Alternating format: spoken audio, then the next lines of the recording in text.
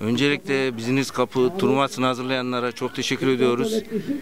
Ee, uzun bir sakatlıktan sonra 3 maçın arasından sonra dizim iyileşti. Allah'ın izniyle oynayacağım bu maçta. İnşallah hedefimiz final. Finali geçersek tek maç maç üzerinden bakıyoruz. Finali geçersek inşallah Antalya'ya gideriz. Rakip takıma da başarılar diliyorum. Ee, teşekkür ediyorum. Sağ olun. Ee, centilmence bir maç olsun inşallah. Allah'ın izniyle güzel bir maç olsun. Rakip takıma da başarılar diliyoruz.